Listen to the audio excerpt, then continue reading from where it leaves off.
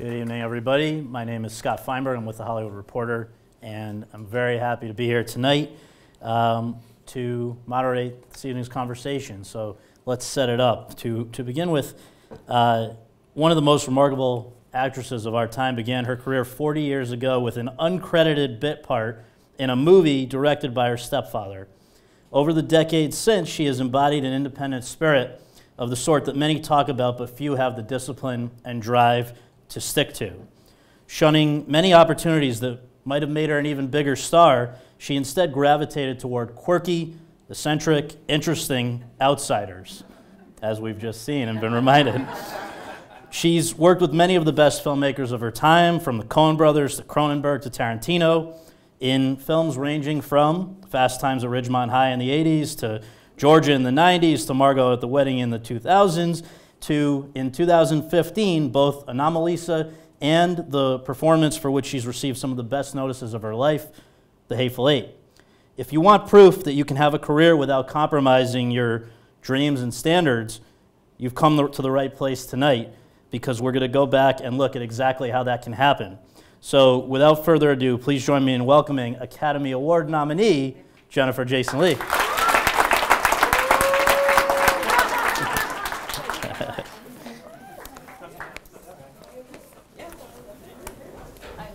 Thank you for coming here and doing this. And to begin with, let's just get some of the key biographical details out of the way. How did you come by the name Jennifer Jason Leigh? It wasn't the one you were born with. No, I was born um, Jennifer Lee Morrow, which is a very beautiful name. but um, my father was an actor, and I had the illusion of, you know, like a lot of kids, I just wanted to make it on my own. I didn't want to get credit for being someone's daughter, and nothing sounded good with Lee you know? An initial sounded bad, Jennifer Beeley, Jennifer Seeley, it just sounded terrible. So um, Jason Robards was a really good friend of the family. And I liked the way it sounded. And I loved him as an actor, and that's how it there came to go. be. Um, you mentioned that your father's an actor. You really come from a family of people that were in one way or another involved with this business. And first of all, he was a great actor, Vic Morrow. Your mother's a great writer, Barbara Turner. Your stepfather was director, Reza Badiyi. Um, how much did they shape you and your interest in pursuing this line of work? Um, tremendously. Yeah. You know, I mean, my mother is really like my hero, and she she was just a beautiful example to me as a young girl that women work and they love what they do and um, they're passionate by it and devoted to it. And she was very serious, always very serious about it. And, you know, I would, she's a writer, so she would be typing, smoking lots of cigarettes, typing. And I would sit on the floor in the library and I would do my own books like before I could mm-hmm. um, write. And, um, and then when I started acting, she instilled in me a love of research because she loves to research. And she said I needed to know everything about my character and if there was something my character did practically speaking that I had never done, for example, serve pizza to paying you know people at Perry's Pizza, then I should get a job there, and I did. Um, so honestly, like I learned so much from my mom. She said I should keep a journal for every character I played, so I would have not only the memories of the scenes in them, in the script, but also things that had nothing to do with the screenplay, um, but that could inform my performance and my behavior. And, and that, was, that is really, I, I really recommend that to people. I, I find that really, really helpful. Um, my stepfather, Reza, he loved to um, take still photographs of me and my sisters. And um, they, I, I, don't know how much they liked it, but I loved it. uh, I really loved being photographed, and I just loved, um, he never made me smile. And I felt like I was being captured and I was communicating something about myself very privately, but that he was really seeing the truth. And that's what film is, you know, and I feel like he really gave me that gift. He made me very comfortable in front of a camera, and it wasn't about looking pretty, it wasn't about being on, it was just about being. And I found that like that's always stayed with me. In terms of my father, I'm just my father's daughter. You know, yeah. I look like him, I walk like him, my expressions are like his. It's it's unbelievable. Whenever I see him, you know, whenever I'm like watching Turner Movie right. Classics and he comes on, yeah, exactly. I like stop right. and you know I bring my son in and show him. That's terrific. Yeah. Well, uh, so when was it that you first tried acting, even if it was just sort of as a, you know, casual thing around the house or whatever? And then was there a moment when you knew this is what you wanted to do? Well, because I think I grew up in it, you know, um, I always, I mean, I did it in kindergarten. We were putting on plays, you know, mm-hmm. and I am introverted, but when I act, I would become extroverted. It's just, I think a lot of actors are, mm-hmm. are introverted by nature. Mm-hmm. And um, so, yes, I was always drawn to it, and I always thought that's what I'll do when I grow up. And it didn't seem, you know, a lot of people that don't come from this town and don't grow up with it surrounding them, it seems like a far off dream. For me, it just seemed like, oh, that's what people do when they grow up, you know? so there was an extreme naivete that I think was worked for me. Right. And as far as uh, the first actual kind of, you know, opportunity to do it in front of an audience that was coming to see you act, was there was I, was there actual um, you know, formal performances or classes or things that you did before you left school? Yes, I mean, I always did the plays at school, yeah. and I, you know, I was lucky, and I got the leads in the shows, which you know instilled a kind of confidence in me, and I, I also had a lot of. Um, you know, when you're younger, your ego is so much stronger in a certain way, and I would like fight with my drama teacher. where she would always say, acting is bigger than life. And I would say, no, it's not. acting is life. Acting you know, should be a mirror. Um, but um, yeah, so I did plays at school and then what? And then I, Reza, you know, gave me like a speaking part on a Baretta. And that's how I got my SAG card. so I had some help getting my SAG card. Right. And then my mom's business manager put my picture in the players directory. And he started getting phone calls. He was just a business manager, like he had nothing to do with the entertainment business. But suddenly I was going out on auditions, and, um, and then I started getting work. So tell us what happened just a few weeks before you were to graduate from high school that prevented that from happening.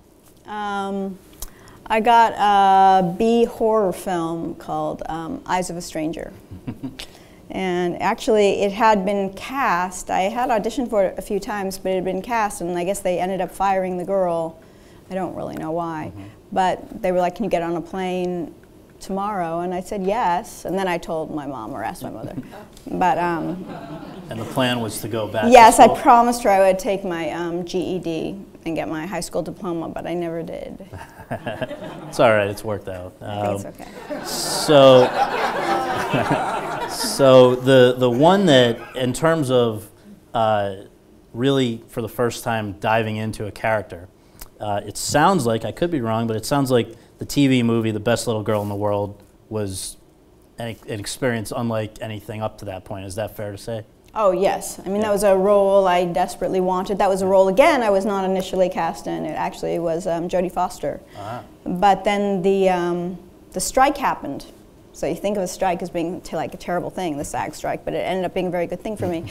Um, Thank you, SAG. Yeah. because um, she um, she ended up going to college, and then she couldn't do the movie, and so they had to recast it, and I got the role. And can you tell us a little bit about what that role was oh, and what it required of you? Oh yeah, it was about um, anorexia nervosa, and and it was a big, big book at the time. And my best friend in high school had ad- anorexia, so um, she's alive and well, but at, you know, it was scary to see that transformation and scary to go through that with her. And I remember having a lot of ambivalent feelings about all of it. It was hard. It was hard to see your best friend go through that.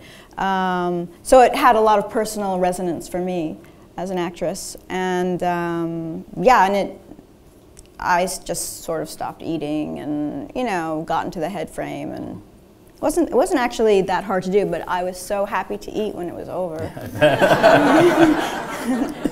um, obviously, one of your most beloved roles is from 1982, Stacy in Fast Times at Ridgemont High, and uh, I want to ask you how that opportunity came about, and just also what it was like because so many great actors have come out of that cast, or have you know they were they were in it and have gone on to wonderful careers. What just uh, how did it come about, and what was that whole experience like?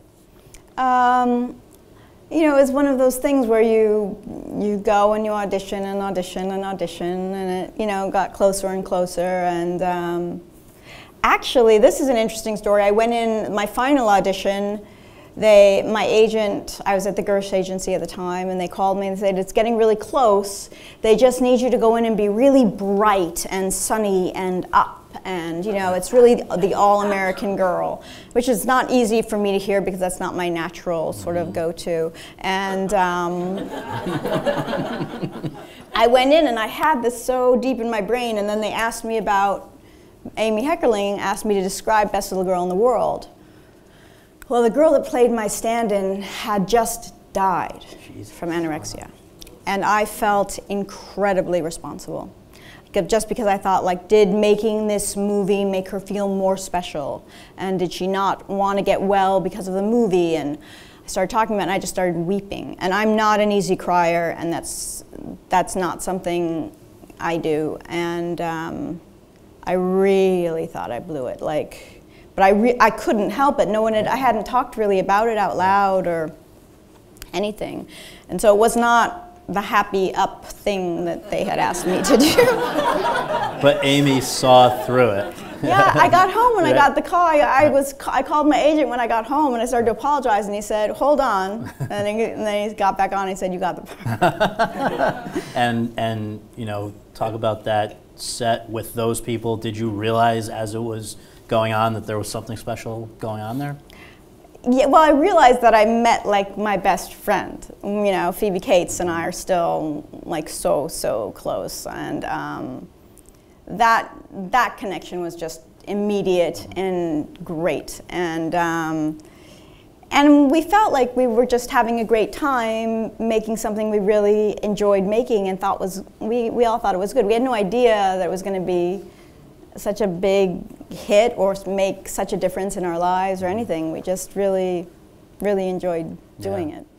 So, obviously, we're, I'm, I'm jumping over a few things throughout this, but one of the roles I want to ask you about is Flesh and Blood for Paul Verhoeven. Um, this was a darker part, right? And you've you've almost seemed to gravitate towards those. I know the so the exception, as you say, is playing the sunny kind of character. Do you think maybe starting springboarding off of this example of flesh and blood is that can you kind of analyze yourself to figure out why you're drawn to why you're drawn to characters that have this sort of darker side? I think it's just simply because I in my life I tend to avoid drama. I I like things to be very easy and kind of kind and gentle in life. And so in my acting, I'll like to do the opposite. You know, it's like I want all the things I don't want in real life, but I want to explore them in a safe way. Right. And my older sister had a lot of trouble in her life, and it was always hard for me to understand. And I feel like my personality was formed almost in seeing her behavior and thinking, "Oh, I don't, I don't want that." Mm-hmm. Um, but in acting, I've been able to just start to like understand her a little better and um, and also experience what that is to be so raw and to live so much on the edge and um, but in a really safe yeah.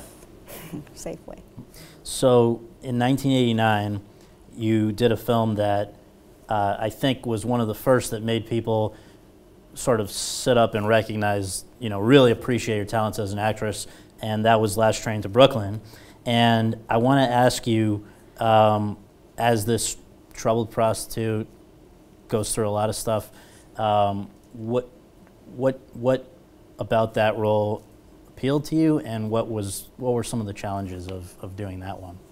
Um, well, Tra La is like just such a beautifully. I mean, Last Exit to Brooklyn is a beautifully written book, and um, Excuse me, I said last train. that's okay. I, was, uh, I, knew, I knew what you meant.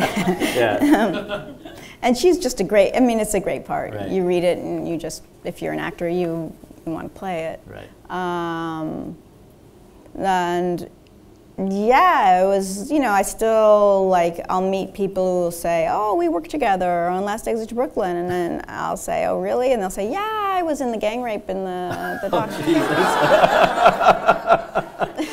Great seeing you again, yeah. Nice to see you again. You're looking so well. Um, Right, yeah. so, so there were, I mean, obviously there were moments, you know, Right. and in that scene where they're like carrying me out of the bar, I just remember saying like, I'm always very gung ho for all of this stuff because it is make believe, you know, and it is acting, and you are trying to create uh, what's, going to look and feel very real to an audience. But I just remember right before that scene just saying, Remember, everybody, we're just acting.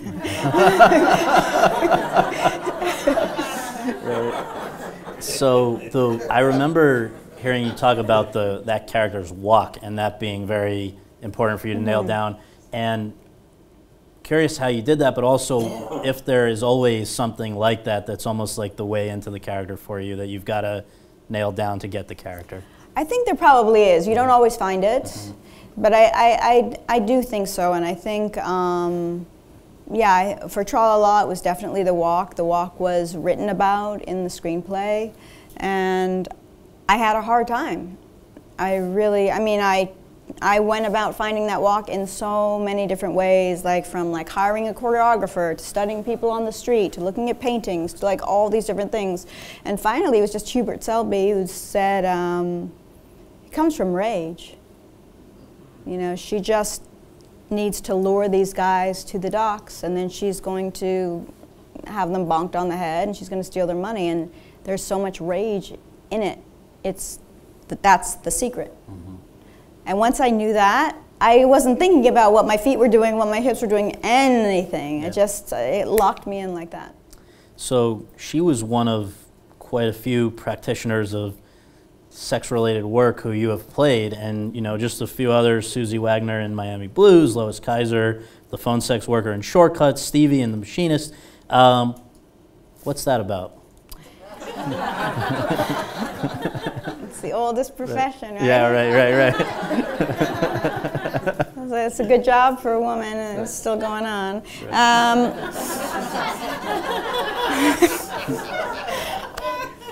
I don't know. You know, I um, all those parts are really well written. They're also really different. Yeah. Like Susie Wagner is as close to the girl next door as I'm ever gonna get. You know what I mean? I mean, she's more the girl next door than Stacey Hamilton in a way. She has, she's more innocent in a certain way. Um, so it just it sort of happens to be what they do. But what drew me to them was the way they were written. Sure. Now, one sex-related worker who you did not play, although I believe you could have, was in the movie Pretty Woman. Can you share what that what happened there? Um, a lot of people are under the illusion that I was offered that role. I was not. Okay. Um, I auditioned for it, Okay. and um, the audition didn't go very well. Um, Why, why is that? um, because um, I read the scene. It was a scene where she gets in a car with an older gentleman and I guess uh, performs a, you know, gives him a blowjob and then gets out of the car and they're talking about some money and stuff and she walks off. And we, and we did this scene and he said, you know, it's still early in, in this career for her and it's still fun and I'd like to just see it with a little more twinkle.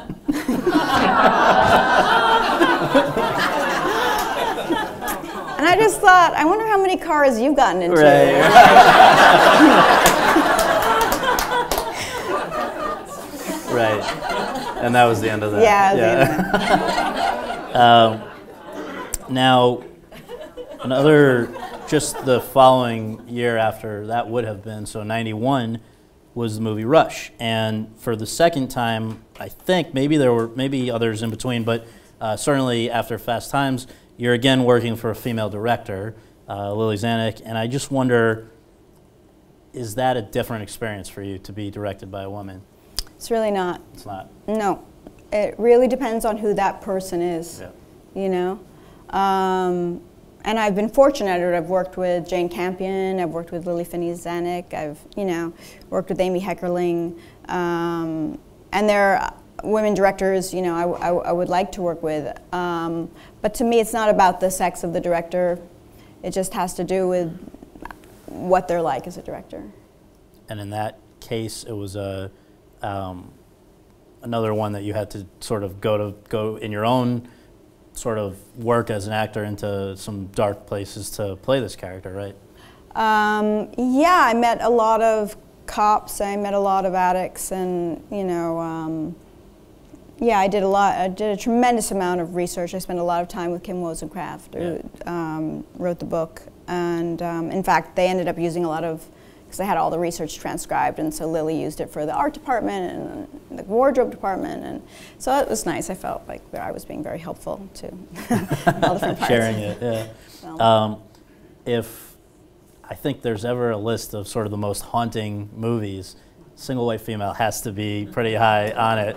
And I've got to ask you, um, you, you again, in your preparatory work, spent some time with some interesting people for that, and then brought it to the set. And I just hope you can elaborate on what both of those involve, both of those aspects. Um, well, I did a lot of different kinds of research. I think I know what you're referring to.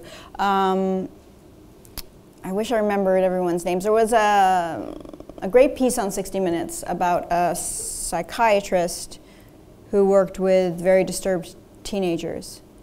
And I remember seeing it. I think his name was Les Foreman. I'm not 100% right now, if I'm 100% right on his name. But um, I was very moved by the segment, and um, I, I called him and I met with him, and through him I was able to meet twins um, that had been hospitalized and separated um, because of psychological disturbance and violence and things like that. Um, and I spent a lot of time with them, and then he introduced me to some other patients of his who were willing and open enough to talk to me, and that that was um, yeah, that was really really helpful. And so you show up on the set. I guess you have a dressing room or whatever. How did you kind of keep yourself in this headspace of the character? I took um, I just sort of transformed it into a like a collage of um, photos of me and Bridget, and then I did a lot of sort of splicing them and putting them together. And then I did other things like things that were supposed to be in my secret box. That she there's one scene where she just sort of discovers she goes through my closet and she finds out a lot of secrets, and I put some things in there that actually were secret and that I wouldn't want anyone to see. And that was really kind of terrifying. I think I would act that now. I don't think I would. I don't think I would do that again. And they were they were not accessed during the. Um, I, I don't I don't I don't think they were, but I you know it was a chance I Right, took. Like, right. you know, I put them at the bottom of the box, but they, they were there. So, the following year, and by the way, I hope people are noticing the pattern of just like one strong film after the, the next year after year after year. But 93 now, you went to work for one of the real masters who I think you'd known for a long time, Robert Altman, um, on Shortcuts, the first of two times that you guys worked together. Well, three really, because we produced Mrs. Parker. That's right. Yeah. And didn't your mom write the company for She did, So, she did. so there's obviously a lot of. It wasn't like you guys were strangers in any way, but you show up on day one. What happens?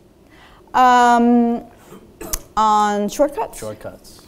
on shortcuts, um, he basically said, "This is the script, and this is the way he works a lot. It's just a blueprint, and I want you to go out and find this woman, and um, you don't even have to tell me what you're going to do. I, I don't mind just being surprised." But so I went to all these different phone sex places, and what's really weird is that the people on the other end of the line really believe, you know, what they're hearing. But what I'm seeing, I mean, really. I mean, there- people are like looking through magazines. They're doing their nails. They're they're getting dinner ready for their families. They are not masturbating. That's Right. one thing they are not doing. Right, right, right. and um, and then like they let me go through the um, their files, and there were all these names of people that I knew, and that was that was rough. Yeah, I, you do not want to know certain people's preferences, you know, and it's, it was all there. Um, yeah, it's, and there was one person that was a guy, who was like a heavy metal guy who broke his leg, and so he was doing it, you know, uh, from his apartment off of Ventura Boulevard as a woman. So he just would put on a falsetto voice and Oh my God. talk these guys through Wow. it. Yeah. So, um, I think Altman, from what I've read, said something to you that um, sort of interesting, which is that it basically, when you're on camera, there's a different, very different you, markedly different in his eyes, right? Wasn't there? Mm-hmm. Can you kind of explain what he was trying to say? I think he was basically trying to say that I was very boring in in real life. Right. but that on camera I kind of uh, come alive. But the first day of Kansas City, Okay. which you know was something we'd been rehearsing and we did all this work on, I came on the set um, on the first day and I walked right up to him and he said, "Nice to see you. Can you get me a cup of tea?" And I said, sure. And I walked away and I got him a cup of tea and found out how he liked it. And then I brought it back to him and he thought I was a PA. And this is after, I mean, he's known me since I was two, Right, right, you know? right. So, yeah. That was. How did that apology go? Um, it, I found it kind of flattering in some weird way. I, um, I don't know, but yeah.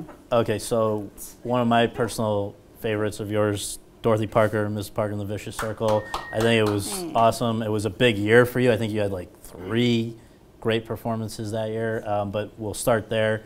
Um, how do you begin to play somebody that sort of uh, iconic and celebrated? That was daunting.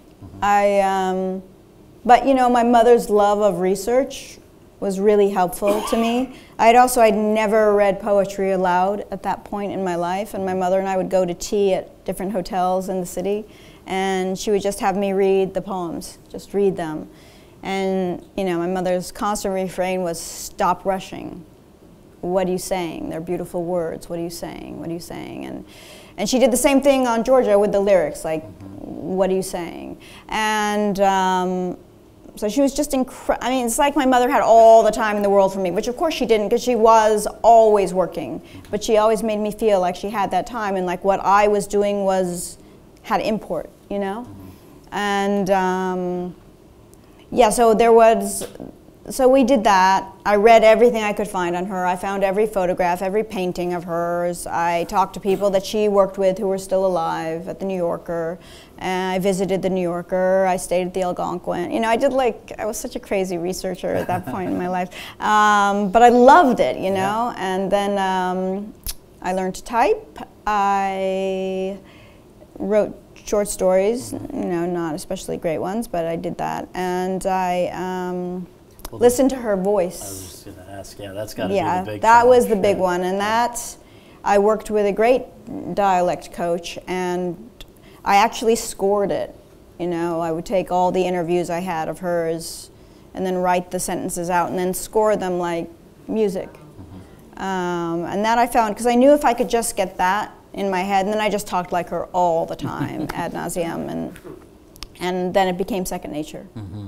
So in the same year, I, I- they came out in the same year. I assume they were shot close together. Was Coen Brothers, Hudsucker Proxy? What is it like working for them? They are, from everything I've ever been able to kind of tell, you know, real characters themselves. So, what uh, what was that like? You know, it's funny. They're really, actually, very low key, um, very, very funny, very personable, um, approachable, kind of ordinary in a certain way. You know, that you wouldn't expect. Like right? Ethan paces all the time and, and, like chews on a toothpick, And Joel kind of stands around and they'll go after a take, they'll say, Yeah, that's funny, yeah, that's funny. Yeah. it's very, Right. everything is very kind of calm Right. and there's no like heightened anything. But Yeah. the, the material is heightened. Right. And so it's this great, odd combination. Right. And you enjoyed the. Oh, I of way of loved working? working with them, Yeah. yeah. The sets also by Dennis Gassner were insane to great. behold. He's great. You know, like way the, the Tim Robbins' office was bigger than this room, much bigger, and they were just in- just phenomenal to walk on.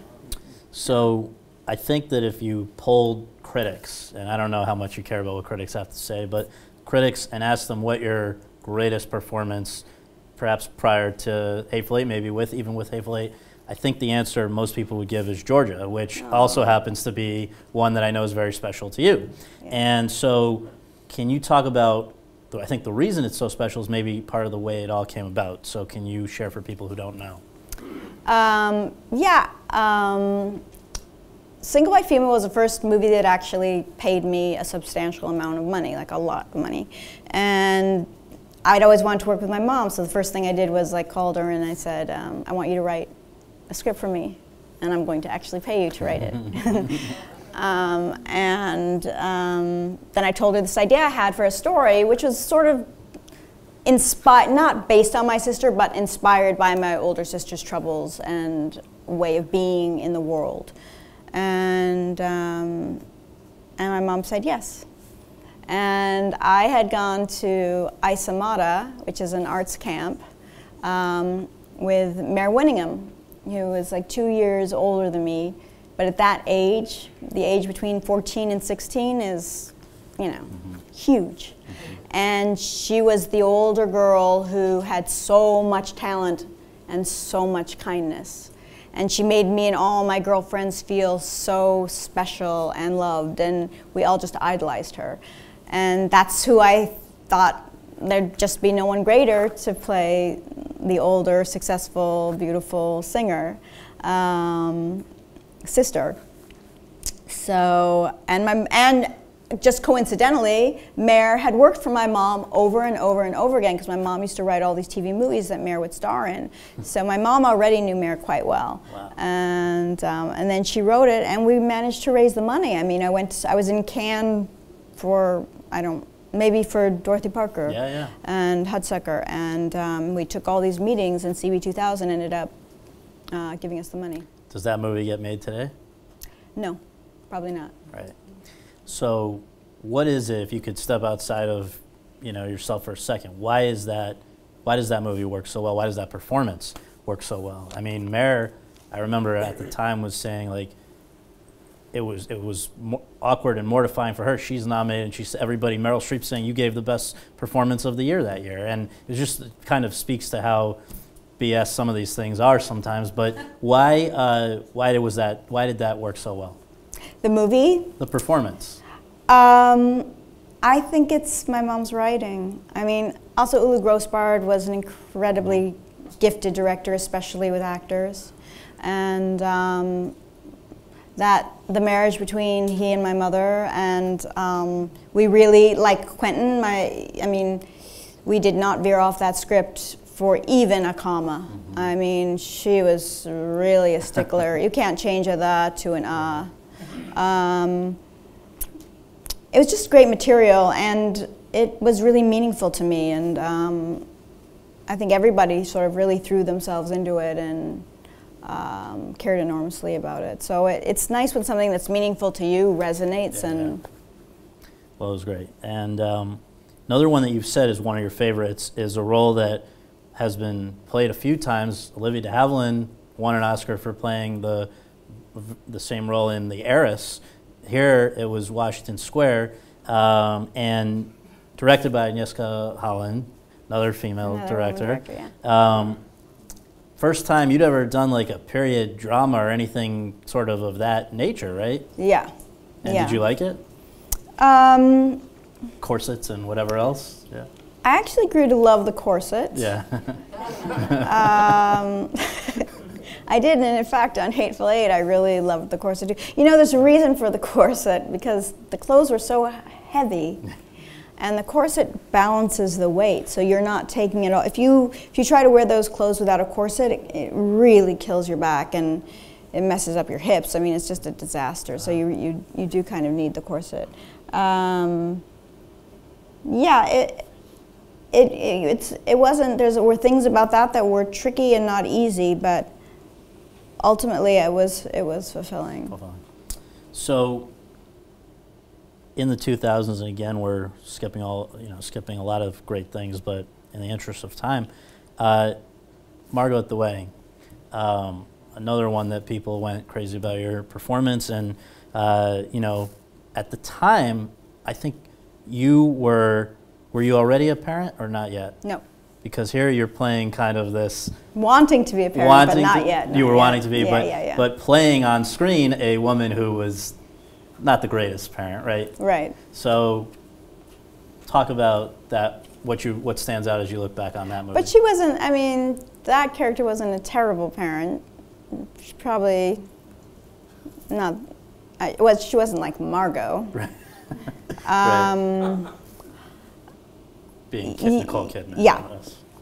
um, yeah, I mean, I loved, I, I, I, I, Noah and I worked very closely on that together on the script, and I really loved it. You know, it was a wonderful experience, and it was a great character for me, and it was.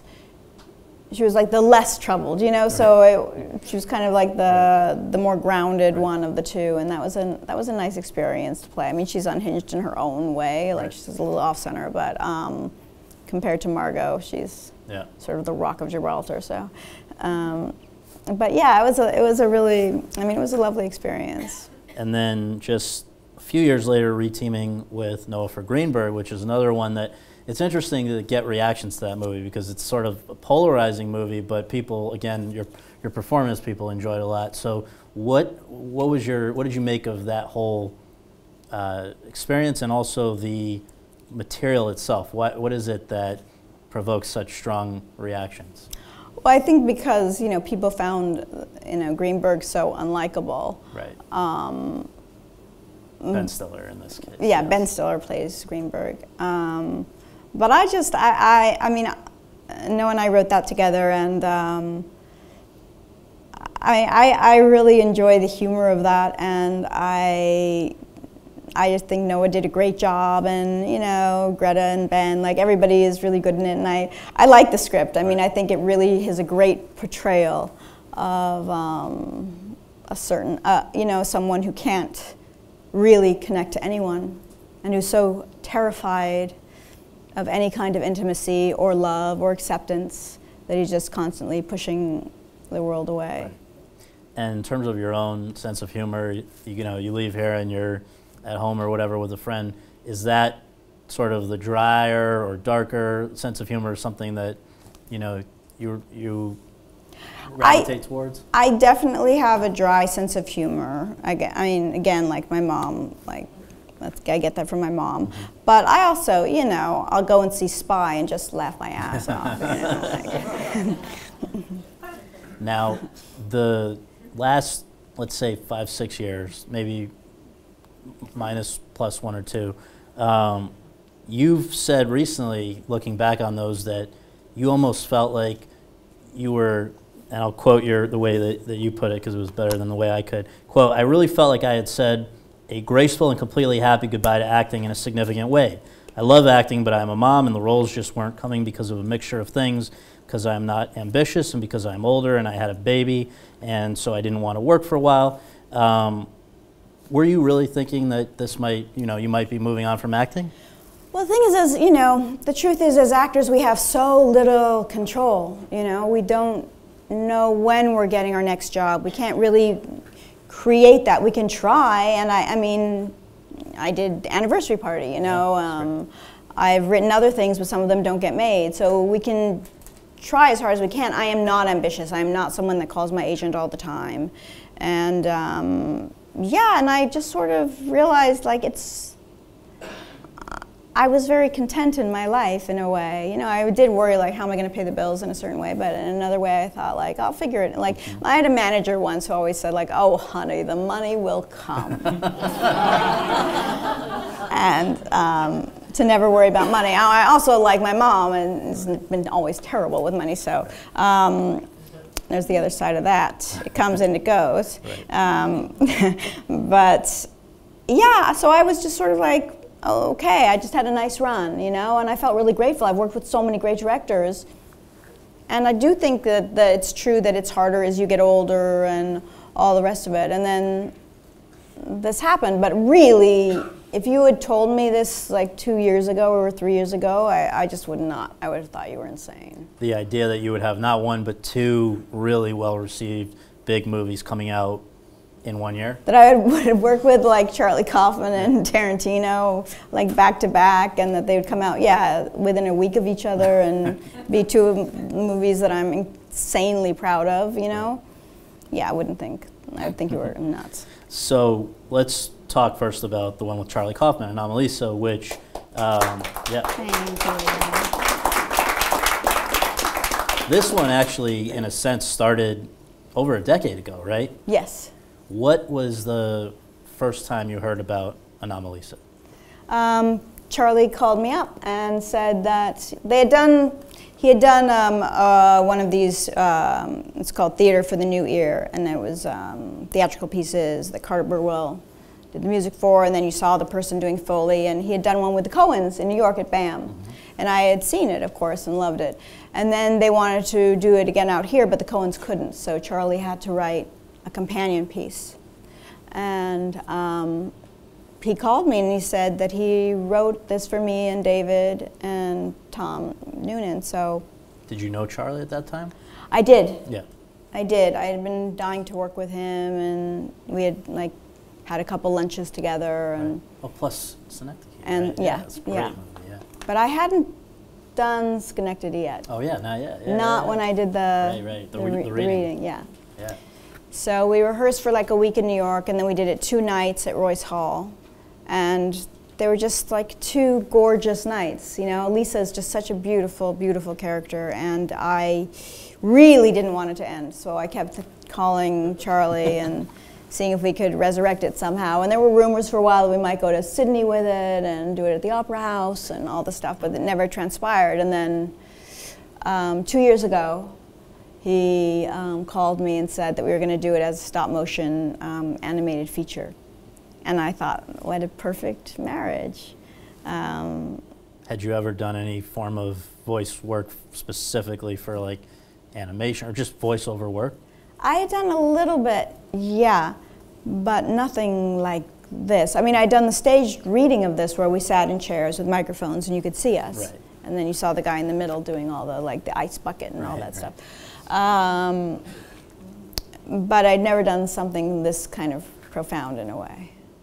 So, how, what, if anything, changed between that first script that you did and the one that you got for the film?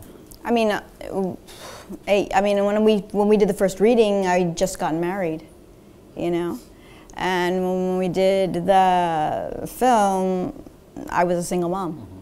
So you know, a huge change in my life had occurred. And the material is so, I do think, so profound and so kind of groundbreaking in its way that I don't, I don't think my performance changed, but I understood Lisa in a completely new, you know, she resonated for me in a different way. Um, because just because of what I had lived through, I had lived a whole other, a whole life time. and so, although the performance I don't think changed, I think I was affected by her differently. I believe one other thing, I don't know how important this was in, in your mind, but another thing that changed was the song. Yes, and the song changed. So, what's that like to? I don't believe you like singing from what I've heard. I actually love singing. I just don't have a great voice. but I do. I, I, um, Tim Roth says I have like singing Tourette's because, um, like on set, I sing constantly. Really? Yeah, it's like I've just always done it. And it's a really funny thing because my son sings himself to sleep really? every night. But um, yeah, I sing all the time. I just I, I feel bad for people because I, I, I do. I, I really, really love to sing. So was it daunting to have to perform the entire girls just want to have fun. No, I actually loved loved that. Yes. Especially because I mean, I have the worst singing voice in my family. So the fact that Charlie wrote this, and the worst probably speaking voice in my family, but Charlie wrote this for me, so it made me feel so good. Like there, it was like just, I don't know, it really touched me that he liked my voice enough to make me Lisa, you know? That's great. So, when was the first time that you heard the name Quentin Tarantino? Um, right around when Reservoir Dogs came Reservoir out. Dogs. And the year that Pulp Fiction premiered at Cannes and kind of, you know, now everybody knows about Reservoir Dogs. I don't know if at the time everybody saw Reservoir Dogs. Pulp Fiction, everybody knew about, right? So at Cannes, the year that that premiered, there were only two other American movies in competition, and you were in both of them Mrs. Parker in the Vicious Circle and Hudsucker. And so I have heard that's where he sort of became aware of you. Is that where you began to really appreciate him as well? No, I already appreciated him because I'd seen Reservoir Dogs, and um, yeah, so I I was really excited by you know Pulp Fiction and the fact that he was there and everything. Um, but um, no, I, I I knew who Quentin Tarantino was. And you, would you say you were interested in the idea of working with him? Oh yes, very much. Yes. Yeah. And so, meanwhile, between Reservoir Dogs and The Hateful Eight, something like 23 years Wow. go by, That's and uh, and then you get a call, or how did what was the start of this? I got a, it so sounds so horrible. I just got an email from my agent just saying like you're one one of you know a short list of women that he's interested for this role. Can you go pick up the script from Vicky Thomas's office? And um, I was so excited. I mean the the email was so kind of like blasé, and I was like Right. I couldn't believe my uh, good fortune. So yeah, so I went and I um, picked it up right away. and reading it, what was your? Oh, it's just, it's so insanely good, you know? But the funny thing was, the last chapter was missing.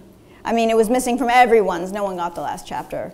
And it Um, just said like to be inserted or something. No, it just stopped. It just stopped. so now you have read your script. It's time to go in and read the part. How does that work on a Tarantino movie? Well, you go in, you go to his house actually, and um, you talk about the role for a really long time. And then on this, he said, okay, well, now I'll give you the, um, the last chapter.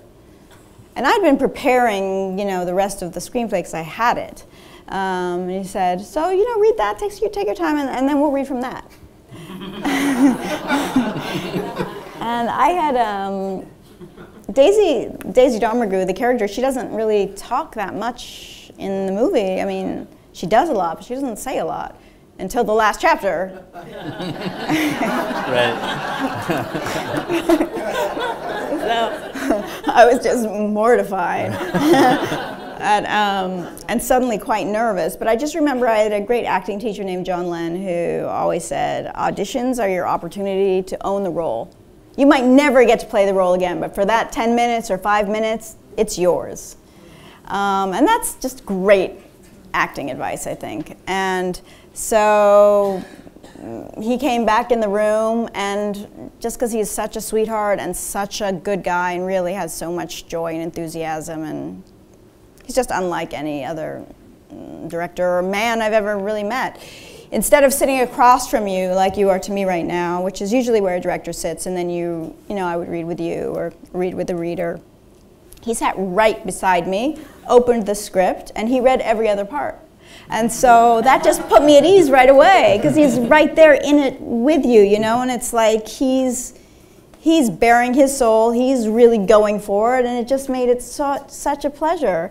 And it it just brought me back to childhood in a way where I would act because it was a release and it was fun and it was pretend and I think that's why people give such great performances in his movies because it is pretend and it is fun and joyous. So first of all, do you remember how you found out that you were cast? Um, well, we it was like it took a while. Like we had a dinner after I read, and he had seen, he went back. I mean, he'd already seen a lot of my movies, but he Yeah. had like gone back and had like a little like, I don't know, Marathon. ma- marathon, and uh, and we had we had dinner together, and um, he said that he was feeling really good about me in the role. He had two more people that he he had to read, and he was going to read them, but he was feeling really good about it. But he wouldn't be able to tell me for another ten days, or whatever. So that was like. Yeah, I, I left feeling very good, but also trepidatious and, uh, you know, all that superstitious stuff that you feel when you want to roll so badly and you think it's almost there, but not quite. And then I did get it. You did get it. I did. And you said that he sort of appreciated it, it was almost it was sort of basically touching to you, I think, that he so appreciated even before he went back and did his marathon, just the the work that you had done so much that, you know, he could quote a line from single white female like it was yesterday or any of your other like you, you said there was something sort of that he the idea that it's not like it's uh, that there are phases but that for him um, you know you said not to compare an, an actor to a painter but you can go through different phases and still be the same artist and he got that Yes. I mean, in fact, he referenced Flesh and Blood, which I did when I was 23. right And he was talking about a moment in that um, and saying that he felt there was a lot of Daisy in, in just in that specific moment. It took me a, a minute or so to even remember.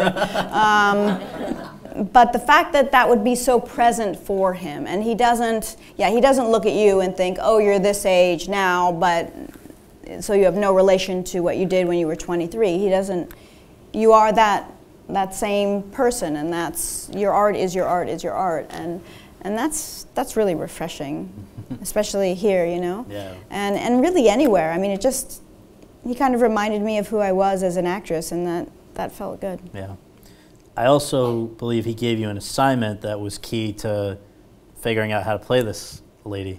Yeah. Lady is that an appropriate word for date? Oh, i don't know. absolutely yeah. Yeah. Aside from telling me like she was a little bit of a manson girl Right. um, he um, yeah he i went up to telluride for a hair and makeup test and then i got there and i went to where he was staying and he said you know i don't really need to do a hair and makeup test with you. I know what i, I kind of know how i want you to look um, but i'd like to play this for you. And he played me a, a record because everything with him is analog there's nothing digital at all. And um, he said i'd like you to play this on the guitar and sing this to score um, the, the, the poisoning scene. Then he asked me if I play guitar, and I said, no, I, I don't. and he said, well, I, I believe that, um, you know, if we get you the, the right teacher and, you know, you, you'll practice, I, I have faith that you can do it.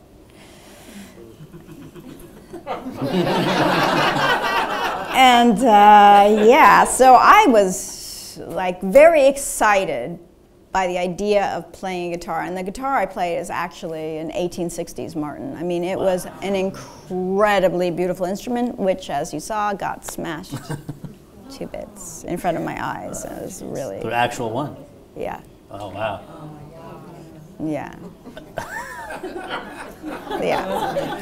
Um, but I, that thing became like my baby. I mean, I really, when he says, I have faith that you can do this, you do not want to let him down. So every spare minute, and luckily they did. They had a guitar teacher on set with me. If I was working 16 hours a day, they were there 16 hours a day. Whenever I had a break, that's what I would do. And the song is picking, the way the scene is shot, you can't see, but I'm actually picking on both hands.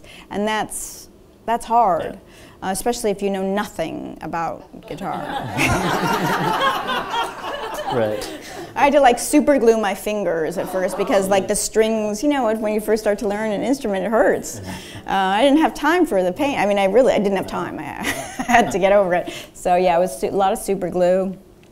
And, um, but what it did is it locked me into Daisy because I didn't want him to know I was vulnerable. I didn't want him to know I was scared. I didn't want him to know that I, wa- I didn't know if I could do it. And Daisy doesn't know if she's going to survive. She doesn't want John Ruth to know she's scared. She doesn't want John Ruth to see that she's vulnerable in any way at all. and she's constantly thinking and constantly trying to figure it out. And so it just like he's just a genius, you know. Like who else would think to give an actor that task? And it immediately just put me in her shoes. And you think that's why he gave it? Um, We'll never know. we'll never know. We'll never know. Um, so, talk about the actual experience. You guys are out in freezing Telluride. You're the only woman on the set. Um, you're chained to another actor. Was it actually enjoyable, the doing of it, or, or is the idea of it more uh, enjoyable? That was pretty great. Yeah. I mean, I was chained to Kurt Russell. Right. right. Doesn't get much better than that. And what is uh, Quentin's set like when the cameras are not rolling? It's a party. I mean, I'm telling you, it's like I wish every actor that I love could work with him. I really do because it's it's a celebration. It's a celebration of filmmaking. It's a celebration of every artist working and every artisan on the set. Like, honestly, he's the guy that we're doing a scene in the stagecoach. And after take five, he says, Who's driving this rig? Because, you know, the stagecoach was on like a flatbed. And is there any way I can talk to him? And he gets on the walkie and he says, Whatever, John, I just got to tell you, I don't know how you're doing it, but we're getting our shots. You're doing a beautiful job, and you're getting us around these curves. And my hat's off to you, man. And I just like, that's who he is, you know. And it's so lovely to work on a set like that. After every hundredth roll, everything stops, and there's a drink. And there's, it's every time it's a different drink, and there's a, literally a party. and that party can go on for like an hour and a half. And uh, there's every like lighting change or there's music being like great r&b like just it's just everyone is having the time of their life. So yes we're freezing and yes there's blood everywhere and, and vomit. vomit, all of it. But there's no place you'd rather be, honestly. Like everyone, like wept, like all these grown men wept, Right. wept when it was like, and that's a goodbye to Samuel L. Jackson, you know, because we all knew we were a part of something really special, and it doesn't happen all the time. Well, as a testament to that, uh, I believe Kurt Russell, even after he was relegated to being a corpse, still came back to the set every day, right? Kurt Russell lied on a freezing. I mean, it was that stage was 30 degrees, and he lay there for me for three weeks. Wow. Yeah, Just 'cause and dead. And they had, they had a you know double for him with like the 3D molded face, like and the bear coat, everything. But he was there for me, and I'll tell you something. I, I could not have given that performance in that scene without him because as much as Daisy wants to kill him, she's grown attached, you know, and he's the one protecting her really. No. And so once that happens, there's this kind of loss for her that she doesn't even know what to do with that kind of power and, f- and freedom. And yeah, it's really, it, it meant a lot to me that he, I mean, no, I can't imagine any, uh, and when they were all like incredibly giving actors, it was just an incredible group of guys. But he's like, just like one in a million. You That's know? great. Well, this is not going to be news to you, but some people have taken offense on your behalf to the violence that Daisy is subjected to. And I wonder what your response to that is because, on the one hand, yeah, she definitely gets put through the grinder. And, and uh, on the other hand, I don't think you would have done it if you felt it was a, a problem. No, I, I mean, what I think is great is that it's not sexist in any way. You know, it's, he treats her the same way he would treat any man that he was bringing in. And he's a brute and he's a blowhard and that's, you know, he's not very bright. And that's what he has, is, you know. And Daisy can take a punch. She's not. I feel worse if it was that was happening to Chris Mannix. You know, he's like the delicate flower in the in the group. It, he's he's the victim. It's, it's not it's not Daisy. Right. Um, the fact that the character until the end did not have a lot of dialogue, is that something that you, some actors find that disconcerting, some people love it, that you can do more with without having to speak. How do you feel about that generally? I mean, that's just my. Uh, that's where I live. You know, Just, just the, I, it's so much easier for me not to talk at all. how about the 70 millimeter, the fact that this is being shot for 70 millimeter projection, did the wider lens of the cam- of Bob Richardson's camera affect the way that you gave you you guys gave your performance. It didn't affect our performances, but what it did do, and which was so lovely, was that we were all on set most of the time, if Yeah. not all the time, because that it's such a wide angle that you see everything. So Kurt and I would be like over in the bar, you know, playing. You can even hear he lost, by the way, consistently. like, it's very hard to lose at tic tac toe, but and he was trying, but. Um, So you can even hear him in the background of one shot going, God damn it. so, but anyway, it created a real camaraderie, you know? And uh, it's like, it was like doing a play in a way. Right.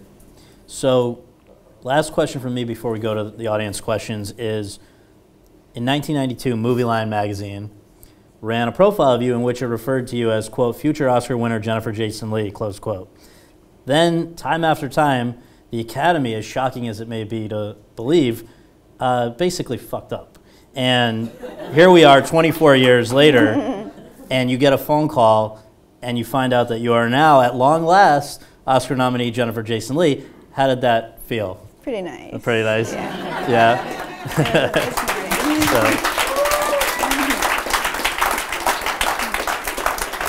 So, so these are questions from audience members. First question, it has a line question for Jennifer. I would imagine it's for Jennifer.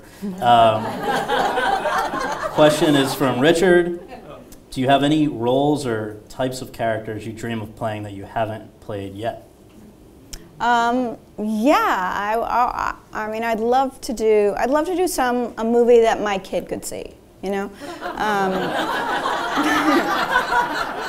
I don't think I've done one movie that he can see. Um, and I'd love to do like a uh, you know big comedy or a big action movie, something like that. Something that's completely outside my mm, realm of experience and fun. Um, questions from Jordan Mitchell. Question is basically, um, before you got your first major role, how important was it to you to, you know, how sort of trepidatious or, or concerned were you? How important was it to, you know, would you have basically been happy being a, an a, a working actor who people didn't know their name? Could you have been happy in that way? Um, I think so. Yeah. Yeah, I think this is an, an incredible profession, you know, and there's, it's just so much fun, and it's really hard to make your living doing it. I realize that, but if you can, I just think it's a joy. It's a joy to do. And you you do theater and Yeah, other things yeah, as well. I do. I mean, yeah. I, yeah, I, I think I think you can almost. It's I think it's harder having a small role actually because you never get a chance to sort of get over your nerves. As if you have a big role, you're working every day, you get more and more comfortable, and it gets easier. But it doesn't make it any less joyous or um, fulfilling if you get it right, if you have that moment. You only need like one or two moments where you're really in that grace zone Right. to feel like it's all worth it, right? Question from Lisa Lee. When you have, when considering that there are thousands of talented actresses out there, what is the key to standing out from the crowd uh, and getting a role? That oh wow. I don't you know what? I this sounds terrible, but I think luck has a lot to do with mm-hmm. it. Because there are so I know so many brilliant actors that cannot get arrested and do not know why. Yeah. So I do feel like luck must come into it in some way. Question from Trip Langley. We sometimes leave an audition that didn't go as well as we would have liked, feeling as if we will never work in this business again. Can you share a time? Can you share a time that you felt like you blew a meeting or an audition and ended up getting that job, or one in the? Uh, yeah, let's leave it there. Well, that's like the fast time story I yeah, told, right? You yeah. Th- yeah, exactly. yeah, I, I blew it and I Trip, got it. we got. We got it already. Um, okay, uh, Lauren Michaels, L A U R E N, not Lorne Michaels. um, how have you learned to stay grounded and at peace, both at times of heavy workflow and at times when you were unsure of what would be next? Um, I think I, I think family and friends are really the key to all that, you know? I guess, I mean, many people have said, I forget, some, maybe Strasberg, like you can't have a life on screen if you haven't got a life off screen, right? So, um, Strasberg was it? Yeah. Uh, Victor Kersain says, what was your, oh, thank you. What was your hardest experience in the Hateful Eight and how did you deal with the cold weather? Ah. The hardest experience, honestly, was the stew. It was really. there was like a good like five months where I, I mean, I would tell my friends like, you can't even say this word around me. I did not wear the corset that day, and I left looking like I was nine months pregnant. I mean, and that that scene went on for we. The first day we ate a gallon of. Oh was yeah, good. and Quentin does not like fake eating. so we ate and ate and ate, and it was.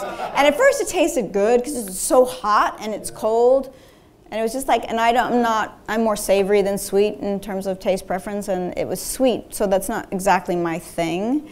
But still, just the heat of it, and. But after like the third bowl, and then you got 20 more bowls to go. I mean, there was one take where I literally like threw up and had Oh, to keep, like uh, threw up in my mouth, like that kind of. Well, that was Yeah, actually yeah. usable for your character, so that was. And everybody, at a certain point, everybody was turning green and just like spitting up in the bucket after every Right. take. I mean, it was everyone's worst, worst.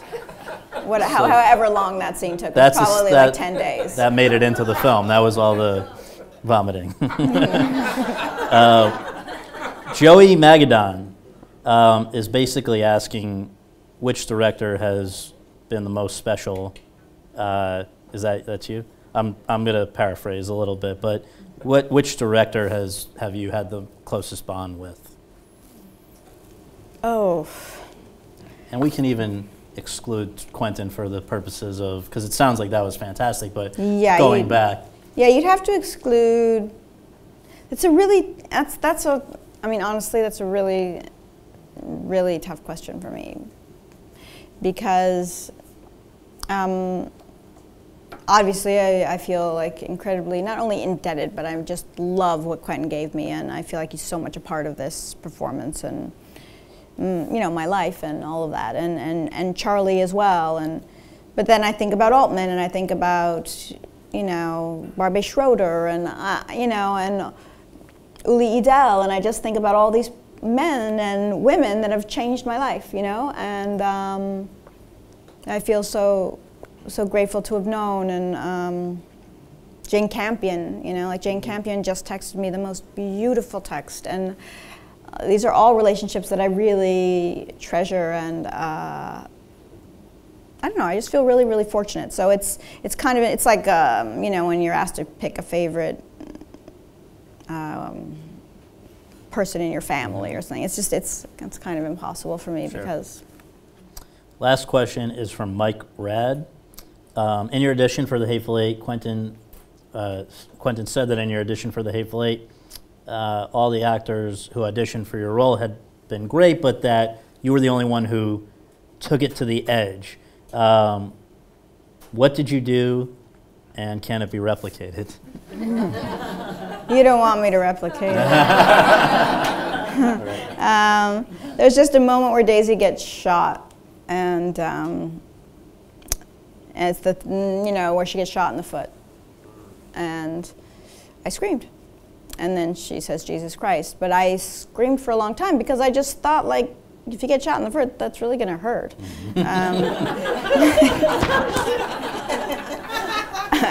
and I guess a lot of people like skirted around that, you know, like they just didn't go there. But you can't not go there. so uh, yeah, that's what I. That's the I- takeaway. Yeah. Go there. Um, okay, well, on behalf of everybody here, thank you so much for taking this time to do you. it.